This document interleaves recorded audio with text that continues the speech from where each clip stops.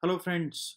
So welcome to another demonstration video on trigonometry. So in this case, we are going to show that the three identities, uh, namely sine square theta plus cos square theta equals to 1, cosec square theta minus cot square theta is also 1, and secant square theta minus tan square theta is 1. So we are going to demonstrate how you know for every angle so it is independent of the angle chosen and it is always going to be 1 so what I'm going to do is I am going to start from let us say the value of theta to be 0 can you see now?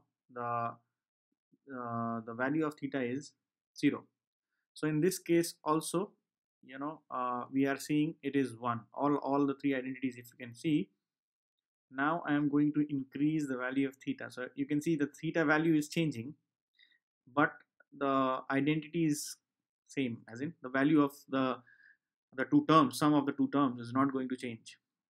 And it is not changing also. So if you see as I am increasing the theta value there is no impact on the right hand side. It is always one. Though the individual terms are changing but the to net the total sum of the two terms is always always 1 so this is now when theta is 90 degree. It's again you know uh, so here at theta actually uh, tan theta is not defined. So here the identity also will not be defined. So hence barring those values of theta where the trigonometric ratio is not defined everywhere else you can see now I am in uh, the second quadrant. In second quadrant also the value remains the same.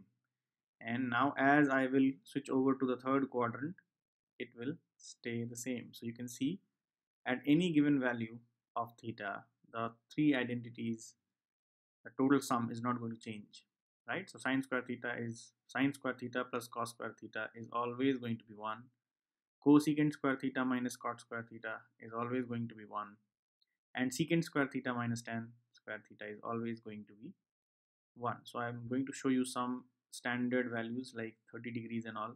So this is almost 30 degree now. Right.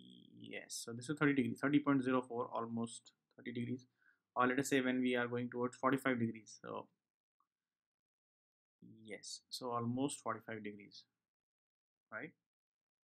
Yeah so 44.96 is almost 45 degrees. So here you can see it doesn't anyways it doesn't depend on the value of the angle. So hence at any given angle you see the values remain the same. Hence trigonometric identities because trigonometric identity is an equation where uh, the, this equation holds for any value of the angle or the variable in this case is the angle. So hence any value of the variable right? That's what so this session was to demonstrate the three identities that indeed it doesn't depend on any of the value of the angle. Thank you